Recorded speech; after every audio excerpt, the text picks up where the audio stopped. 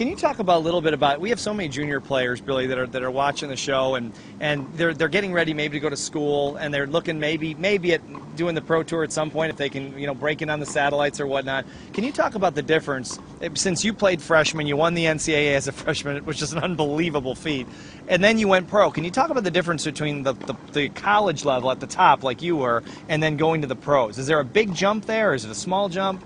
Well, I think it's big. I mean, just because you know there's no easy matches, and I've been away from the pro tour for so long, but certainly have a lot of my players that have that dream and try to go out and play pro tennis, and some have been somewhat successful. Uh, Mark Knowles, uh, one of our former players, is still out there doing really well. I think still top five in the world in doubles. Uh, you know, to, to mention one, David Sanguinetti, the Italian guy we had for uh, two years, has, has, been top 20 in the world.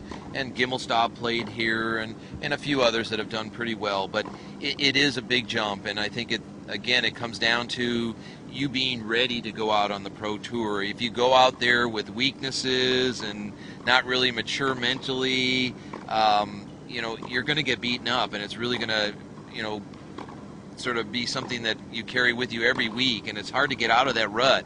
Um, I just, you know, I've always tried to recommend to the guys that come here with the idea, oh, I'm coming coach with one one year in mind or two years in mind. I say, fine, that's great, but let's just reevaluate after each and every year.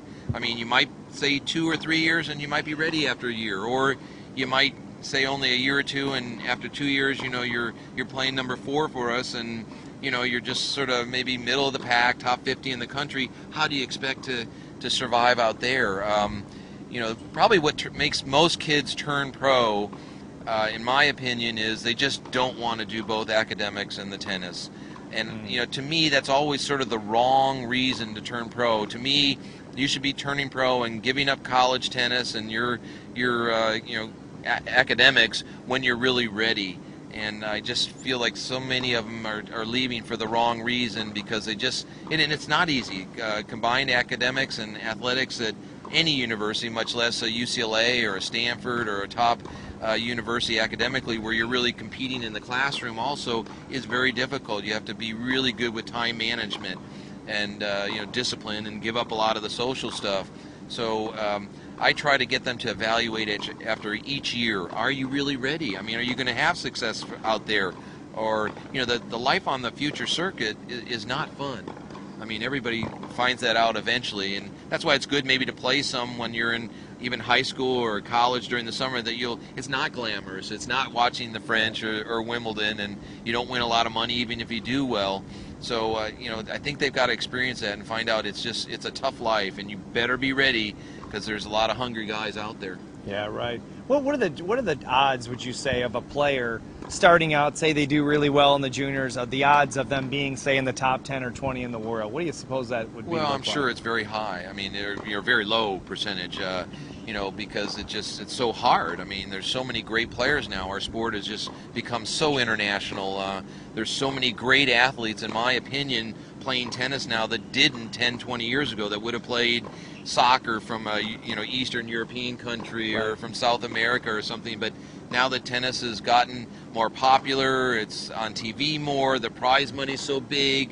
Uh, you've got parents and kids, you know, wanting their children to, to play uh, tennis, and you know, it might be a way out of a certain lifestyle, a chance for them to really, you know, to make a lot of money and to, you know, sort of break loose from what they you know, maybe their normal path would be if they stayed in their country or something like that. So you've got better athletes, which is making you know it just that much more difficult, uh, in my opinion. So uh, it's it's a low percentage, and you know everybody sort of has a different time where I think they blossom or, or come out of their shell a little bit. Some earlier than others. So I, it's hard to say you know.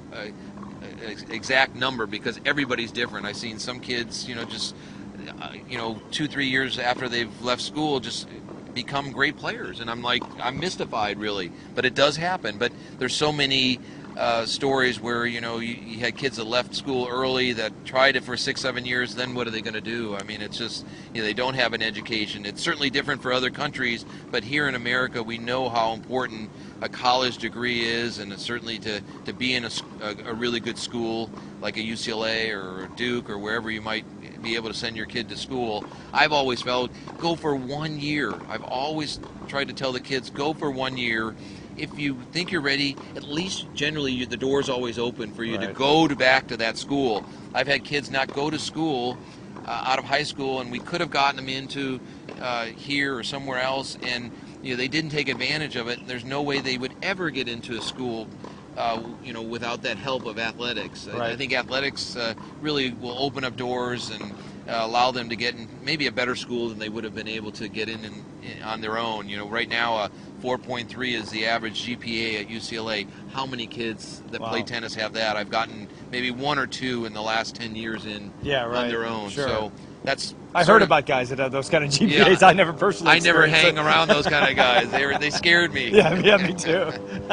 well, should that be the goal then? You think if a you know a parent's got a young kid and a pretty pretty talented, should the goal not be Wimbledon and the U.S. Open and the Pro Tour? Should it be a great college education instead? You think, or Well, again, it, there's no right scenario for everybody, in my opinion. I mean, a lot of it has to do with the resources financially, I think, of the parents. I mean, you look at, uh, you know, Roddick's parents. I mean, they certainly had the resources to be able to give him everything that he would need trainers, coaches, traveling on the tour. I mean, if, if you have that advantage, then it, that makes it that much easier. But so many of the kids do not have that. I mean, you really need somebody out on the tour when you're young, in my opinion. That's when you really need someone sort of holding your hand, you know, there when things are bad, and you know, keeping your head level when things are good, so you Sure. don't get too carried away with yourself. Uh, and not many of them have those financial resources. So to me, that's a, a big part of the puzzle that I think helps make the decision, quite honestly. But uh, I think you have to, you know, sort of be able to be you know level-headed as far as looking at the talent of the kid you know what, what type of game do they have do they ha- really have weapons that are going to help them out in the pro tour in my opinion you better have weapons out on the pro tour i mean guys who just get the ball back and are real steady are a dime a dozen but you know you have to have some weapons now in, i think to play pro tennis and not a lot of the kids have those, but the ones that do, maybe it's a you know Sam Querrey or someone like that really has Right. some weapons.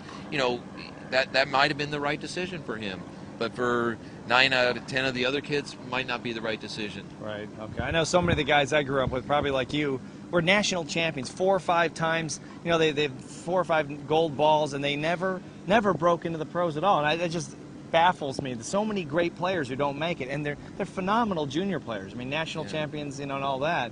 Well, so let's go to college. What does it take? Obviously, UCLA, the Bruins, you guys have one of the best programs of all time in, in the history of college tennis. What does it take to play at a school like UCLA for a coach like you that has this track record a mile long? What does it take? Well, we're certainly looking for great players, uh, no doubt about that. Ones that can win and have won and have experienced, uh, you know, tough competition under tough conditions. Really, um, you know, except for maybe a Davis Cup match or something like that. Boy, there's not much more tougher comp, uh, you know conditions than going over to USC. Yeah. You know, playing Yeah. our, our crosstown Tough rivals, and, and they don't like us over there. You know, or Stanford. You know, they're they're saying some not such nice things uh, about our guys and and their parents and their sisters and brothers and all that. So it, you know, it, it's good competition. We have great rivalries with you know our conference. Uh, teams and all, but it, really toughens you up. But I need guys who have experienced tough international competition or tough national competition that have gone through some of those experiences, although a lot of them have not experienced anything like what we're talking about when we play these on the on the road matches or NCAA championship matches. So that that's one thing I'm looking at. I certainly need somebody who I think is going to be able to, you know, compete at UCLA academically, and we really want somebody who we feel is going to be able to graduate and get a degree, not just hang in there for two years and then you know flunk out or have to leave school because they can't handle it. So those are things that you know my administration, our athletic department is looking at. Uh, you know that we're bringing in people who have quality to graduate, uh, and then I'm looking for.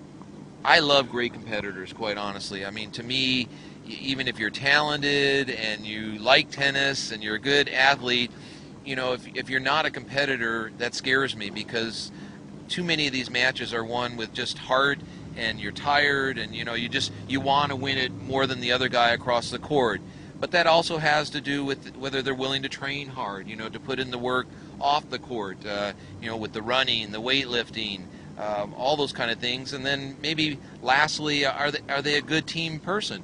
I mean, is it me, me, me, only what I want, and you know, I don't want to give up anything for myself uh, that might help one of my teammates, or am I willing to sacrifice a little of myself for the better of the team? And that doesn't happen much in this sport. I mean, until you come to college, maybe high school.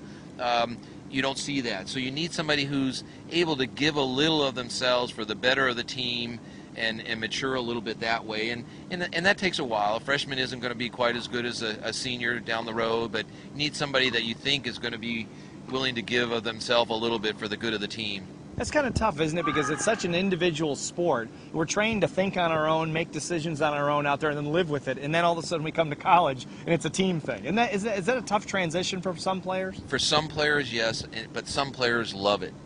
Uh, some players just, you know, it, they they might not try so hard if it's just for themselves, but boy, if it's for the team and their buddies and everything, they're going to die out there. They're going to give 120 percent. Uh, where there's some players that that's too much pressure for them. They, they don't like that. If it's just for themselves, they're relaxed. If they disappoint themselves, that's okay. But to disappoint their teammates just puts that much extra pressure. And you never seem to know that uh, no matter how hard you try to look and see uh, when you're recruiting until they get here in that uh, in these sort of circumstances when it comes down to that last match and it's your team their team and it's a third set how are they going to react under that kind of pressure some guys really like to be there some guys would just die to get out of there you know what i mean yeah right and sure. uh, boy, you, you kind of find out real fast who the guys that like to be there and want to be in that position and thrive on that kind of pressure. So it's, it's kind of fun, but that's part of the equation. Unfortunately, you never know until you, you, you get them here and you Yeah, see how right. they're reacting. But a lot of them get better. You know, they fa- they they maybe falter a little bit as a freshman, sophomore. But you know, a lot of times in life, you just got to fail and fail again until you succeed. And that's why you feel a little bit better when you've got uh, your seniors and juniors in those big matches because they've they probably have a little bit more experience and you know they can handle the pressure a little better. sure.